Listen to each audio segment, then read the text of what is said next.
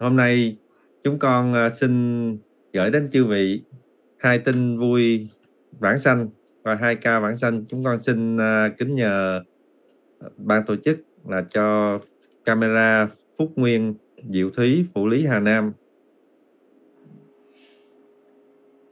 Nam mô A Di Đà Phật. Kính bạch chư tôn đức tăng ni, kính bạch thầy Diệu Âm Tịnh Hải, kính bạch thầy Thích Hạnh Phú, kính thưa ban tổ chức đường Zoom Thế giới Hồ Niệm cùng chư liên hữu đồng tu. Chúng con xin gửi đến chư vị hai ca hai tin vui vãng sanh. Ca thứ nhất, ban hộ niệm chúng con nhận ca hộ niệm Phật tử Nguyễn Hữu Hạnh 46 tuổi, pháp danh Long Hạnh bị u phổi, tràn dịch màng phổi. Đi bộ đội do ảnh hưởng chất độc da cam, người bị biến dạng. Ban hộ niệm chúng con đã đến hộ niệm nay đã hơn một năm Phật tử không có vợ, có mẹ già, có hai anh trai, một chị gái, một em trai, gồm năm anh em. Phật tử là người hiền lành, thật thà, nhẫn nhịn, thương mẹ, rất có hiếu với mẹ vì bố chết sớm. Mình mẹ tần tảo nuôi năm anh chị em. Mẹ của Phật tử là người cùng ban hộ niệm với chúng con. Phật tử là người rất hiểu đạo, tuy không đi được nhưng sử dụng máy tính thành thạo, chuyên làm thẻ niệm Phật để cúng dường cho mọi người. Chúng con đến nhận ca chia sẻ 15 điều quy định, cả nhà đều đồng tình và ủng hộ hết. Mỗi khi chúng con đến trợ niệm thì anh chị em và các cháu đều tham gia cùng. Ngày 15 tháng 6 năm 2024, Phật tử đã xả bỏ báo thân trong tiếng niệm Phật của đạo tràng và gia đình. Sau 13 giờ trợ niệm liên tục, Phật tử để lại thoại tướng vô cùng viên mãn, gương mặt sáng, gương mặt tươi sáng hồng hào, toàn thân mềm mại, Phật tử đã để lại niềm tin vui vô bờ bến cho mẹ, anh, chị em và các cháu trong gia đình, họ hàng, xóm làng. Và ca thứ hai là cụ ông Lại Xuân Hoàng, pháp danh tự Phúc Dương, 81 tuổi. Cụ đi bộ đội về hưu, được dân tin tưởng, bầu làm chủ tịch phường hai khóa liền.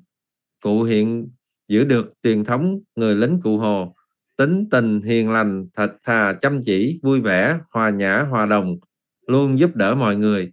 Cụ bị tràn dịch màng phổi, rối loạn đông máu, suy tim, suy thận, suy gan trong vòng một tháng. Cụ có vợ và hai con, một con trai, một con gái. Con trai của cụ đến mời ban hồ niệm. Chúng con đến nhận ca và chia sẻ 15 điều quy định. Vợ con trai con gái cụ đều nhất trí, đồng ý và hoan hỷ. Cô con gái cụ cũng tu theo pháp môn tịnh độ, niệm phật cầu vãng sanh.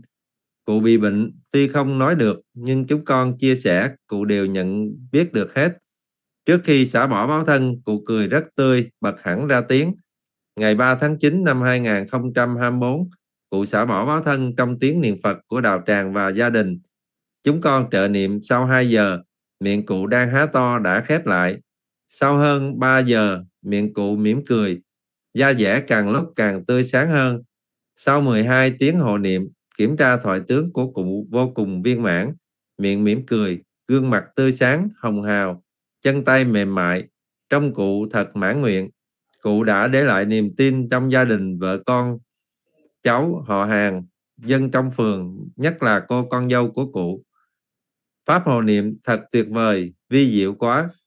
Chúng con xin tri ân mười phương chư Phật, chư Bồ Tát gia trì, chư Long Thần hộ Pháp bảo vệ.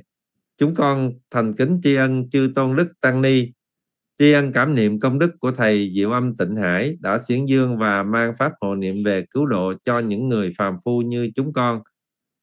Chúng con xin tri ân Thầy Thích Hạnh Phú đã tận tình hàng ngày khuyến tấn giúp đỡ cho chúng con ngày càng vững chắc hơn tri ân ban tổ chức đường Zoom đã mở ra lớp học vô cùng lợi lạc cho tất cả chúng sanh, đã giúp cho nhiều chúng sanh thoát khổ được vui. Nam mô A Di Đà Phật. A Di Đà Phật. Nam mô A Di Đà Phật.